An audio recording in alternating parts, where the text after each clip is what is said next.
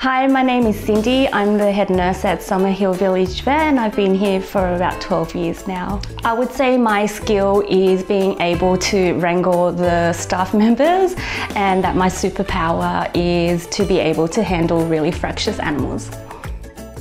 My name is Jess, Jessica, and I'm one of the senior nurses here at Summerhill. I've been here for about nine years now um, and um, my role is around the clinic would be surgery nurse, um, consult nurse. I do help the vets in consults as a vet tech and um, I'm also one of the main crew chiefs around the clinic so make sure that the day is organised, everything goes smoothly um, and help around the clinic as much as I can.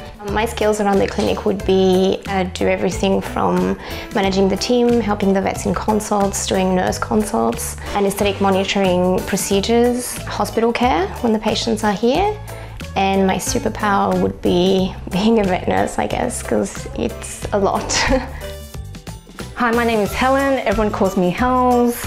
My role in the clinic is I'm a consult nurse. I'm also a vet tech as well as a anaesthetic nurse. And those are my skills as well. I am particularly fond with working with bunnies and my superpower is I can talk about bunnies all day and my rabbit's name is Ralph and Lilu.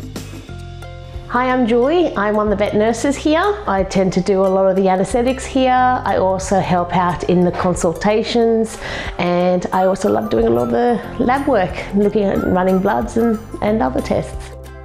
My superpower is I'm a hugger.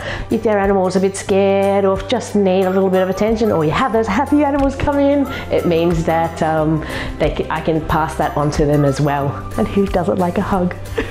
Hi, my name is Jasmine, um, everyone around the clinic knows me as Jazz. I'm a veterinary nurse and I've been a nurse at Summerhill for the last four years. Part of my role includes doing dental procedures, monitoring anaesthetics, doing nurse consults and helping out the vets in their consults as well. And my superpower would be remaining calm under pressure, which can sometimes be difficult, but I think it's something that I excel at.